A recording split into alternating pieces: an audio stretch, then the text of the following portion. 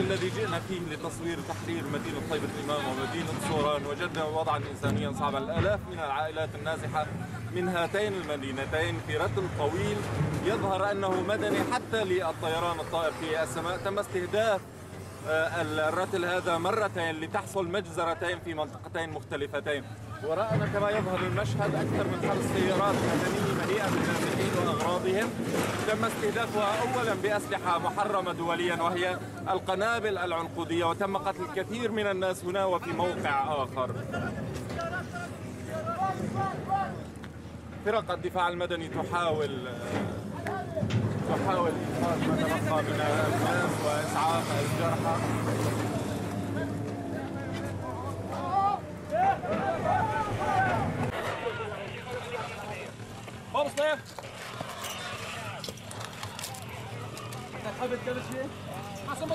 تمام. آه، بعد نزوح الأهالي من آه، قرية آه، صوران والطيبي قام الطيران الحرب الغاشم باستهداف المدنيين نزوحهم خارج المعارك. بعد تحرير آه، صوران والطي- والطيبة الإمام قام الأهالي بالنزوح من جراء استهداف المدنيين آه، للطيبة وصوران قام الأهالي بالنزوح إلى خارج البلدات. فقام الطيران الروسي والأسدي بنفس الوقت باستهداف المدنيين بالفوسفوري والعنقودي وهذا ما ترونه أمامكم. خليك على أوسع على أوسع بدك وينك؟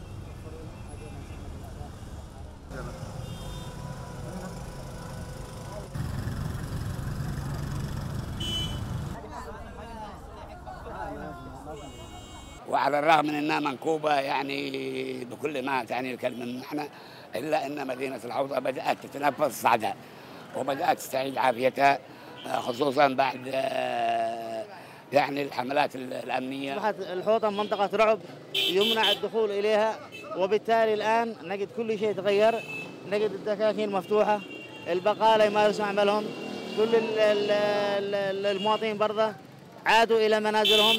تم تأمين محافظ لحج من جميع العناصر التخريبية. وتم السيطرة على كل مداخل المحافظة ومديرياتها وغراها وحاراتها.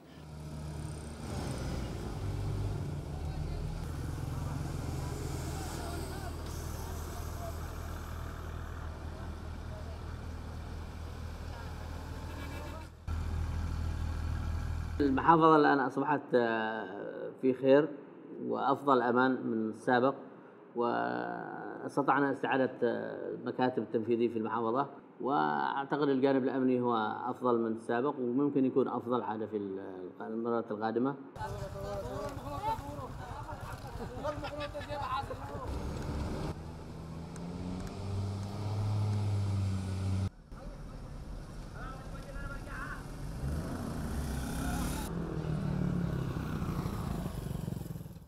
أنا الأخ أحمد النقيب من مواليد صبر الموادم خرجت هذه الفكرة نابعة عن إنقاذ أرواح المواطنين. لأنه الضرب عشوائي على المواطنين والمدنيين والعزل. كوني أشاهد منطقة إطلاق الصواريخ من منطقة الحوبان ومن معسكر الدفاع القوي في الحوبان والمطار واللواء 22 والهاونات من جبل السلال وكان المكلكل سابقا. أول ما بدينا بالفكرة كنا نجمع الشباب هنا نصيح ضرب ضرب.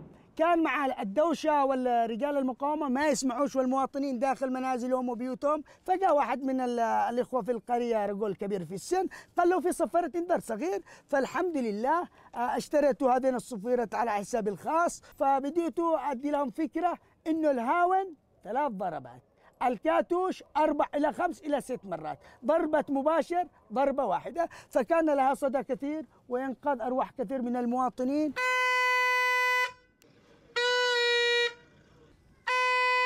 الناس لقوا في هذه صفارة الإنذار صدى كبير. كانت امرأة هي وأطفالها فضربت في صفارة الإنذار وأنا أشاهد والمرأة تهرب هي أولادها داخل المنزل وضرب الصاروخ في محلها.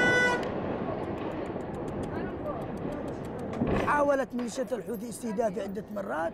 جاءت مرة قذيفة هاون إلى جنبي لم يبعد بيني وبيني أربعة متر. بفضل الله وجوده انفطرت شق الجدار نصفين ولم يصب. الحمد لله ولم أصب بأذى لن أغادر مكاني هذا إلا أن يتوفاني الله أو تخرج ميليشيات الحوثي وصالح من محافظة تعز وإن شاء الله إذا أطال الله في أعمارنا.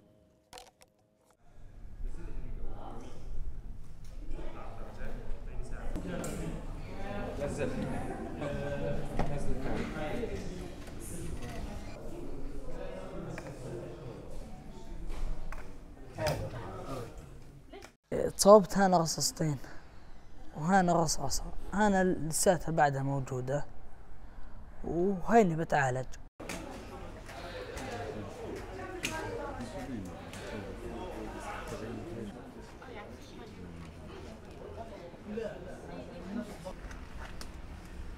وكيف الجرح نظيف.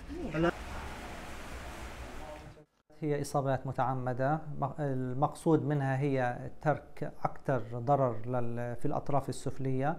وهذه الإصابات زي ما حكينا إن عادة بنتج عنها تهتك في العظم وإصابة في الأعصاب الرئيسية والشرايين.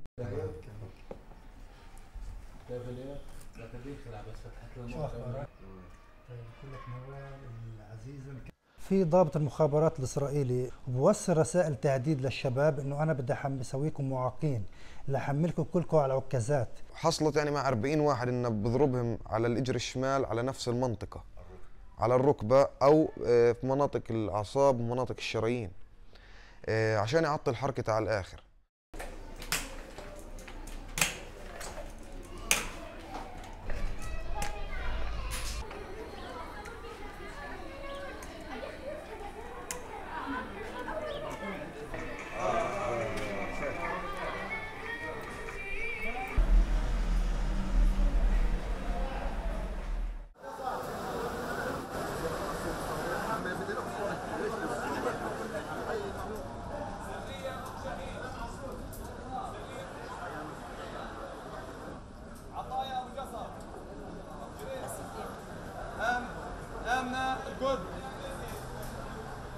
لي 11 سنة مسجلة.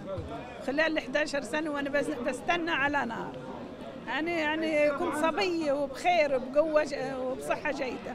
فخلال ال 11 سنة تعبت فيها. وصار عندنا ظروف كثير صعبة. اللي استشهدوا واللي بيوت اللي طاحن.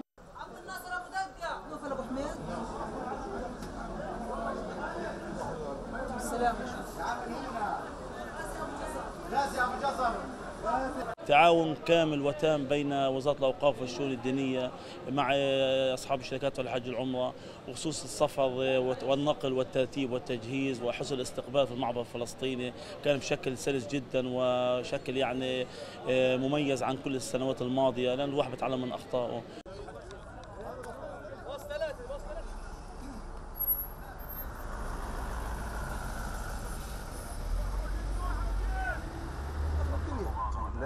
المشكلة الزوم ثم تبعد الزوم. تم إرجاع في اليوم الأول 14 حاجا وفي اليوم الثاني تسع حجاج. نحن في إدارة معبر رفح نبذل كل الجهد إن شاء الله مع الإخوة المصريين من أجل إعادة هؤلاء الحجاج إن شاء الله ومغادرتهم إلى الجانب المصري. آه تم مغادرة ما يقارب خمس أفراد من آه المرجعين. نتمنى أن يستجيب الجانب المصري أيضا وإدخال جميع المرجعين إلى الجانب المصري.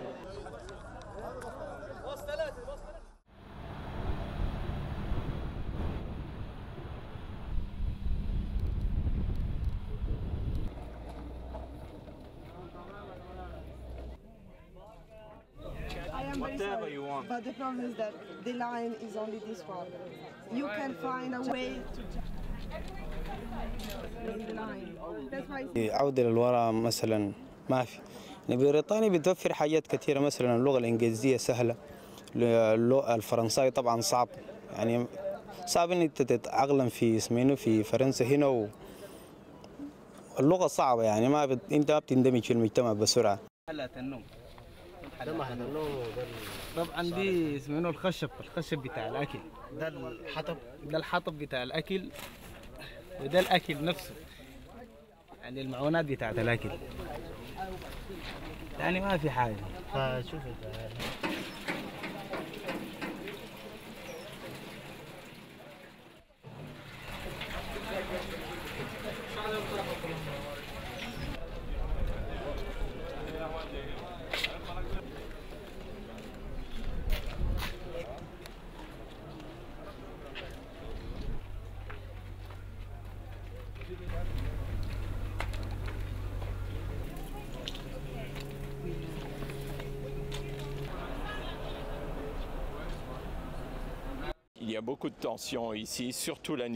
التوتر يخيم هنا خصوصا في الليل فقليلون يحاولون التسلل نهارا إلى بريطانيا. لكن في الليل يحاولون إغلاق الطرقات والاختباء في الشاحنات للوصول إلى هناك.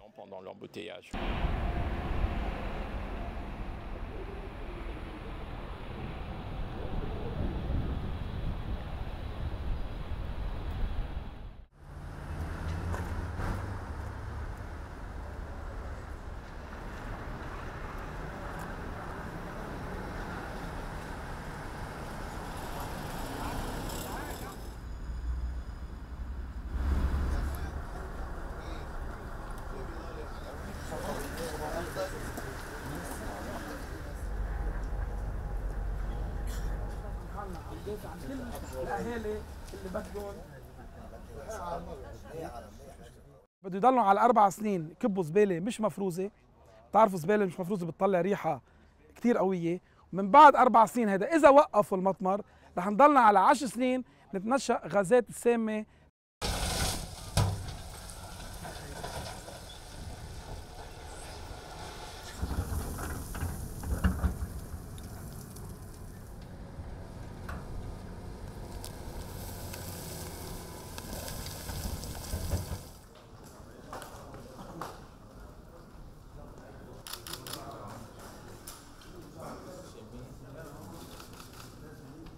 قبل العشرة بعد الخطة اللي انعملت بمطمرين قد لا لا يكون الحل الأمثل وربطناه إذا بتتذكروا بشهرين بالنعمة. خلصنا هذه الخطة يسهلوا لنا الحل ويعززوا الرقابه ويعززوا إذا أفكار إيجابية لهذا الموضوع.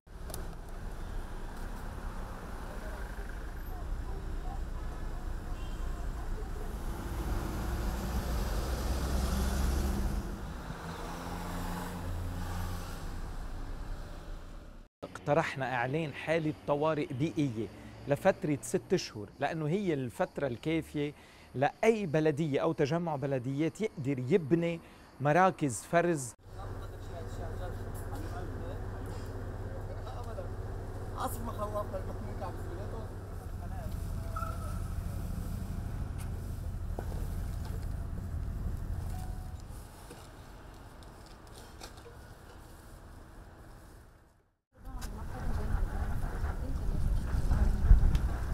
أول يوم كنا مع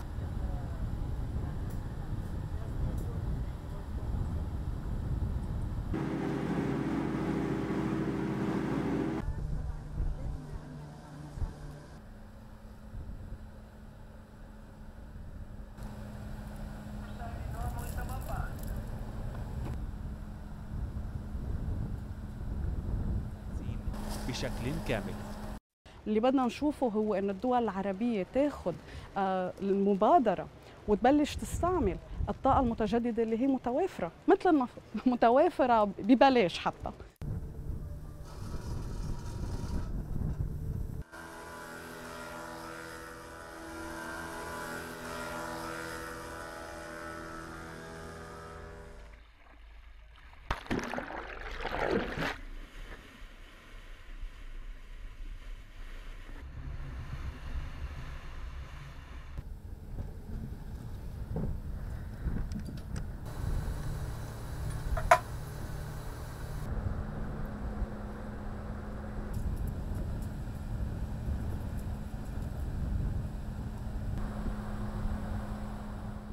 مع العالم مع الناس مع المواطنين بنجرب نوعيهم على موضوع الطاقة المتجددة والطاقة الشمسية. بنضغط على الحكومة إنه يلحقوا التزاماتهم أكيد كثير مهم. يكون الإطار السياسي إطار القانوني إطار التشريعي يعني بيتحدث وبيتجدد.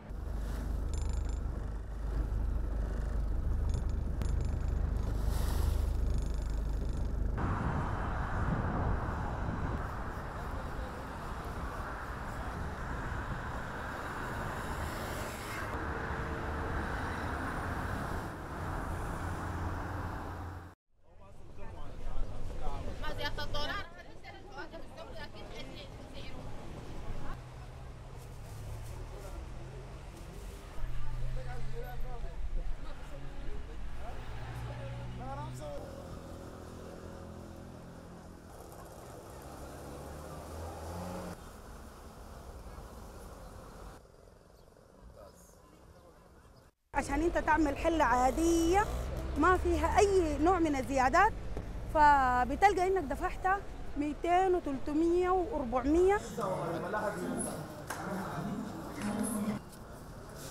رقم 500 و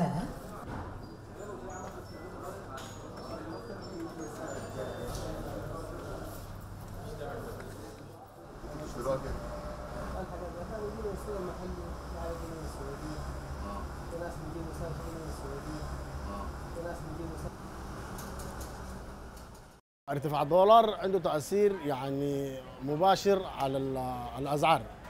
يعني حتى نحن هسه المساله بتاعت البيع والشراء يعني قلت شديد. ليه؟ لأنه الأسعار بقت مرتفعة. الاعلاميين كلهم للنظام والآن أنا يعني ونرحب بإخواني في لجنة تسيير المحيط بين أوروبا وأمريكا. أوروبا كلها ما كان فيها.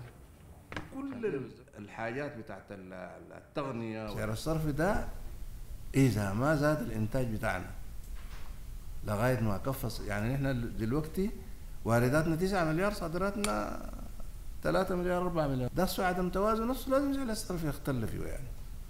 وإذا قلت إذا قلت إن الناس في البنك المركزي قاعدين ساي ما قاعدين ساي لكن إحنا بنوري الناس بنعمل في شنو يعني.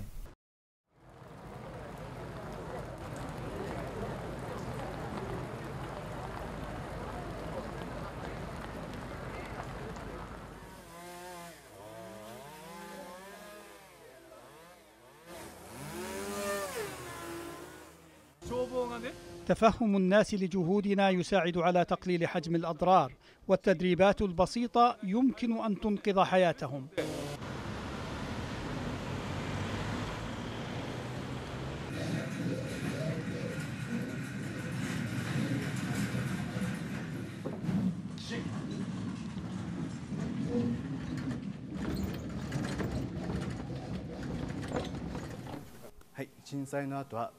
حين وقوع الزلزال يجب أولا إطفاء نار الموقد ثم فتح الباب حتى لا يعلق ويمنع الهرب بعد توقف الزلزال ثم الاختباء تحت الطاولة وتغطية الرأس بوسادة.